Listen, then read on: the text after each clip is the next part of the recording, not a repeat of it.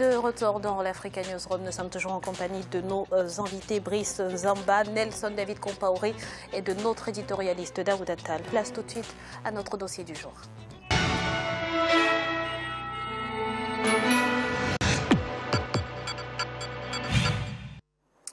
Au Burkina Faso, le projet de réforme constitutionnelle alimente les euh, débats. C'était pourtant une promesse de campagne du président Roch-Marc Christian Caboret qui a pour objectif de doter le pays des hommes intègres, d'institutions fortes à même de garantir l'équilibre des euh, pouvoirs. Je vous propose de regarder euh, ce reportage qui nous a été préparé par Jean-Paul Ouedraogo et on en parle juste après.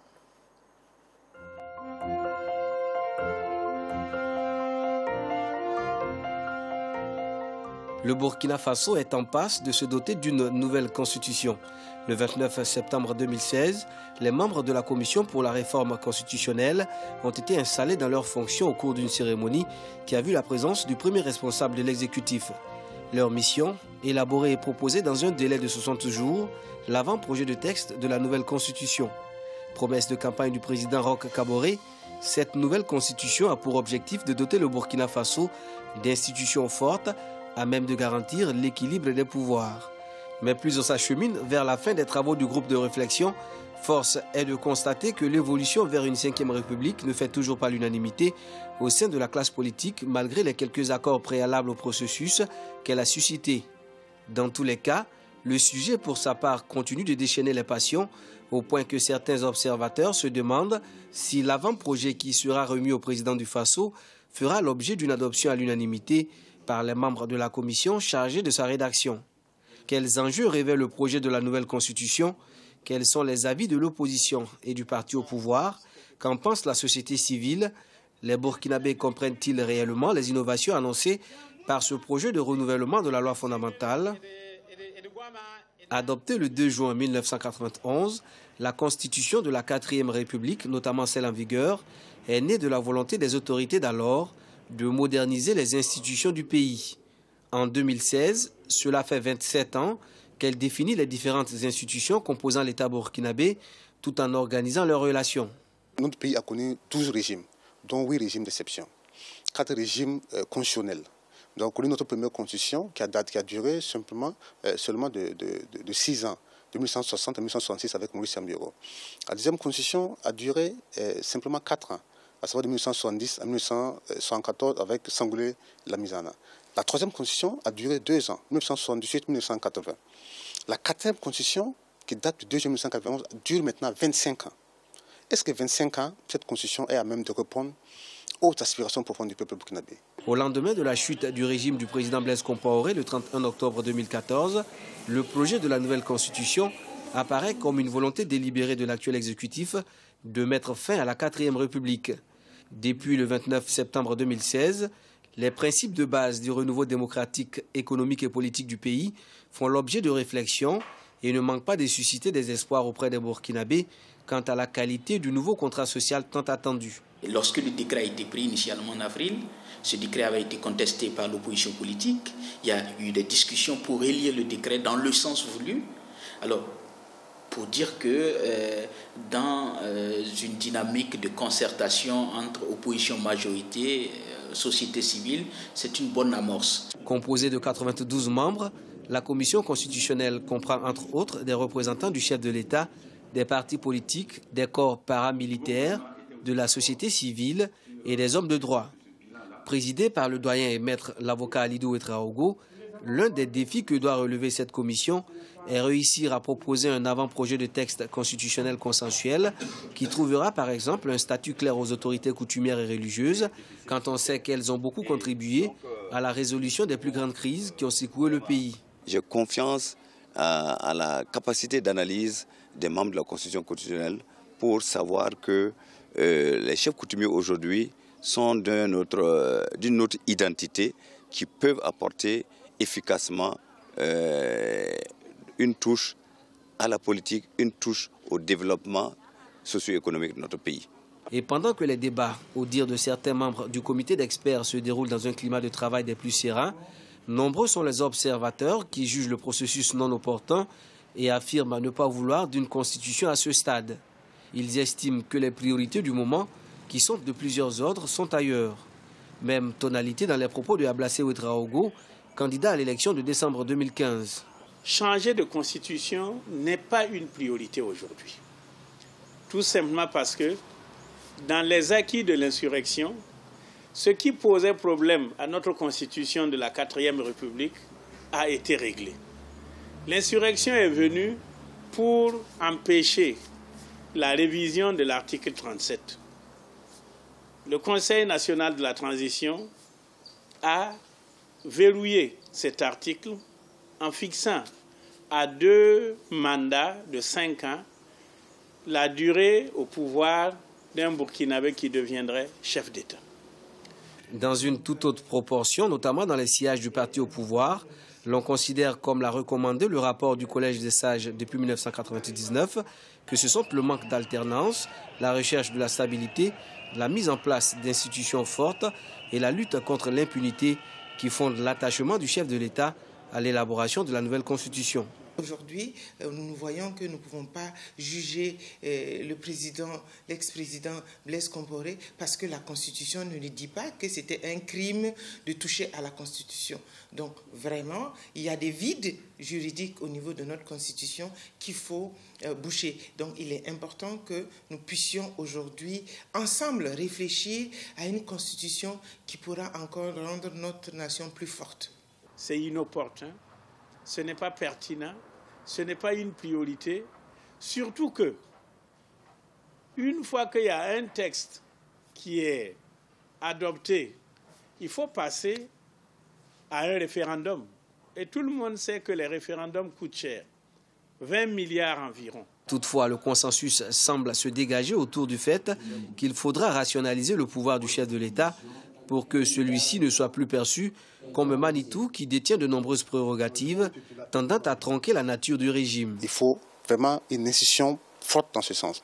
Il faut également que les institutions également euh, travaillent dans le sens également euh, des intérêts du peuple. Il ne faut pas qu'il y ait des institutions également qui, euh, qui sont un peu le reflet de la personnalisation du pouvoir.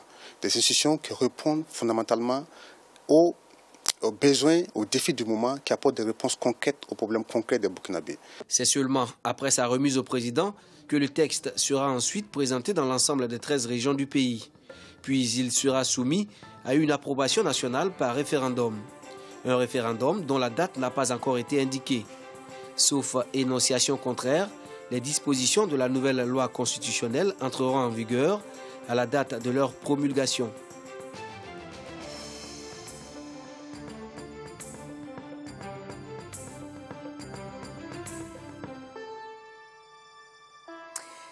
Monsieur Zamba, l'opposition euh, euh, burkinabé est bien évidemment hein, contre ce projet de réforme constitutionnelle. Raison évoquée, le Burkina Faso a d'autres priorités. Qu'en pensez-vous? Oui, bah, écoutez, je, pense qu'il y a des arguments euh, qu'ils peuvent, euh, en fait, que cette opposition peut faire valoir. Hein. Je, pense que euh, à partir du moment où on estime que l'insurrection au Burkina avait été motivée précisément par la volonté du président Compaoré à, réviser un article qui l'empêchait de, se repositionner, et que à, partir du moment où des mesures ont été prises pour verrouiller et dire qu'il n'est plus possible à l'avenir, puisqu'il y a une loi qui a procédé à la révision de de, cette Constitution, qu'il n'est plus possible à l'avenir euh, de toucher à cet article, donc cet article devient intangible, on peut raisonnablement et légitimement penser qu'à partir de ces moments-là, euh, il n'est plus nécessaire de pouvoir euh, changer toute la Constitution. En revanche, en revanche, je pense qu'il faut quand même euh, avoir le sens de l'histoire. le sens de l'histoire pour le Burkina, c'est lequel C'est que le Burkina a connu un régime patrimonial, un régime géré par un clan, un régime géré par un homme qui détenait quasiment tous les pouvoirs, habillé dans une constitution qu'il souhaitait manipuler à sa guise.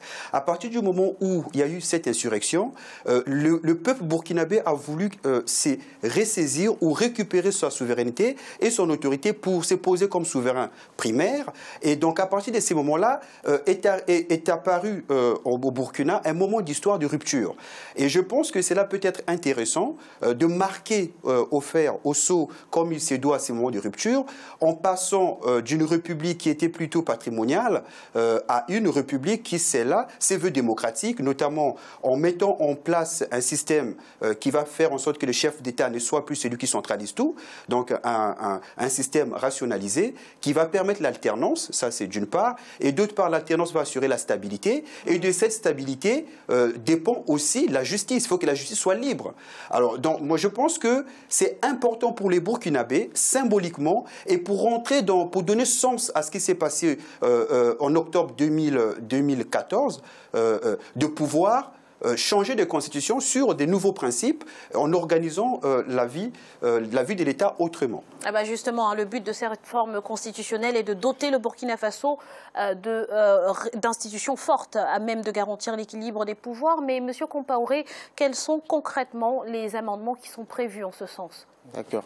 Euh, je voudrais, dans un premier temps, abonder euh, dans le même sens que mon prédécesseur, quand il dit qu'il s'agit d'une république. Le Burkina Faso est une république, l'article 31 de notre Constitution lui dit, le Faso est la forme républicaine de l'État.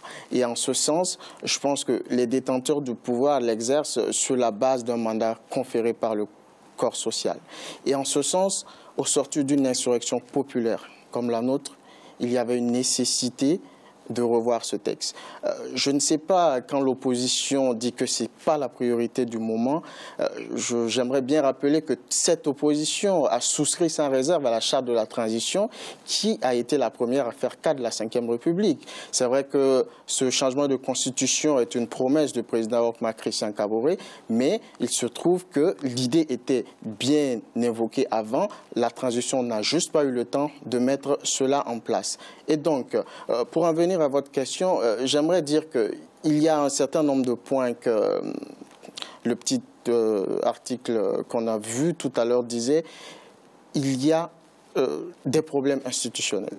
Ça veut dire l'insurrection populaire qu'on a connue est justement euh, née de ces insuffisances. Bah, justement, qu'est-ce qui est prévu concrètement hein, dans, le nouveau, dans le nouveau texte Dans le nouveau texte, concrètement, pardon, il y, a une consolidation, disons, des institutions. Il y a l'indépendance, par exemple, de la justice constitutionnelle, qui normalement doit être examinée quand on sait aujourd'hui quelle est la composition ou le mode de désignation des membres du Conseil constitutionnel. Il y a l'examen, par exemple, du statut de la chefferie traditionnelle. Nous savons que dans toutes les crises que le Burkina Faso a connues, il a fallu à un moment donné que les autorités coutumières et religieuses interviennent voilà, pour calmer les choses. Donc, il, va falloir examiner euh, justement euh, toutes ces institutions-là à l'image de ce qu'on a connu avec le Collège des sages euh, en 1998. Une institution en réserve, mais qui pourra avoir un rôle consultatif euh, extrêmement important. Et il, s'agit aussi de revoir finalement euh, quelle est la forme républicaine de notre État. finalement, aujourd'hui, on ne sait pas. Sommes-nous dans un système présidentialiste, semi-parlementaire? Il y a une confusion qui mérite à ce jour d'être élucidée. Et je pense que les 92 membres de cette commission constitutionnelle, euh, qui sont composés, euh, disons, de toutes les couches sociales de notre pays et avec un certain nombre d'éminents juristes, nous ferons des propositions concrètes dans ce sens. Alors Daouda, ce projet de révision constitutionnelle, M. Compaoré l'a dit, hein, était une promesse de campagne du président Marc Christian Cabouret. Pourquoi fait-elle encore débat alors qu'il a été élu en connaissance de cause finalement? Oui, tout à fait. Moi, je, pense que je souscris totalement à cette, démarche du président Cabouret. Euh, je ne comprends pas non plus pourquoi il fait débat au sein d'une certaine frange de, la population ou d'organisations politiques. Euh, si ça va, en tout cas, dans le sens de consolider les les acquis démocratiques, etc., réorganiser les institutions, réaffirmer un certain nombre de principes. Parce que la Constitution, c'est vraiment cet élément qui rythme la vie de la nation. Donc ça me semble important. D'autant plus que j'observe une chose sur la démarche. Euh, moi, je salue vraiment cette démarche euh, qui a abouti à la mise en place de la commission constitutionnelle. Parce que l'ensemble des, euh, composantes de la société burkinabé euh, est, prise, euh, est, prise en compte. Dans... Bah, justement, est-ce que est-elle suffisamment représentative Notamment, est-ce qu'elle prend suffisamment en compte les membres de l'opposition? Oui, honnêtement, je crois que oui, parce que l'opposition y est représentée, la société civile, euh, les chefs traditionnels et coutumiers, me semble-t-il le secteur privé, enfin, toutes les composantes de la nation sont représentées dans cette commission. Et j'observe que, selon la procédure, à laquelle je, enfin, j'ai pris connaissance de, cette procédure-là, c'est-à-dire que les membres de la commission travaillent et ensuite ils votent. On a parlé d'un vote à majorité. Euh, euh, ils, votent le document qui est issu des travaux et euh, donc ça veut dire qu'au moins à la majorité, euh, ceux qui composent la commission constitutionnelle, même s'il n'y a pas consensus, consensus ce serait l'idéal. S'il n'y a pas consensus, il y a une issue euh, par le vote d'une majorité. Et, donc je pense que c'est représentatif par ce biais-là. Et ensuite, euh, les propositions sont transmises au président de la République, qui lui a, me semble-t-il, en certains délais, pour euh, faire euh, des observations et ensuite euh, passer au référendum. J'observe que dans d'autres pays, ça ne se passe pas du tout comme ça. C'est le président qui nomme sa commission de, réforme. Moi, je peux prendre...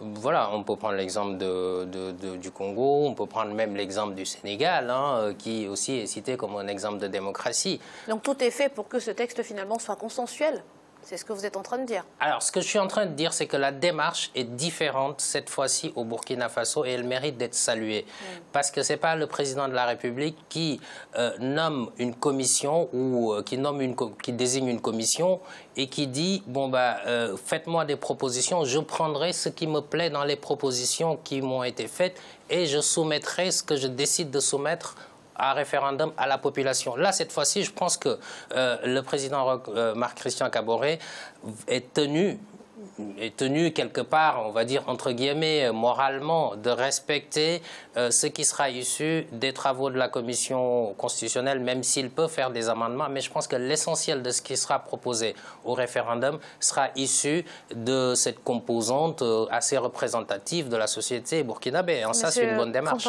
très rapidement. Euh, ce que j'aimerais ajouter, c'est que dans le sens de ce qu'il a développé, c'est que cette commission respecte les normes. Nous savons qu'en droit constitutionnel, il y a deux manières de procéder à la mise en place d'un pouvoir constituant. C'est par le procédé non démocratique où le président à la base de tout, il nomme la constitution et après il imprime finalement sa vision sur le texte qui va naître. il y a le mode démocratique, que j'estime que c'est cette voie qu'on a empruntée, où finalement le peuple est au début et à la fin du processus. Dans ce cas, le peuple est présent à travers ses représentants. Nous avons les représentants de la société civile, les organisations et mouvements de jeunesse, les, associations de femmes, euh, les autorités coutumières religieuses, toutes les parties tous les partis politiques et dans leur composante majorité comme opposition. Et à la fin, justement, ce référendum, disons ce texte, cet avant-projet fera l'objet d'assises au niveau des régions avant justement ce référendum. Donc c'est le peuple finalement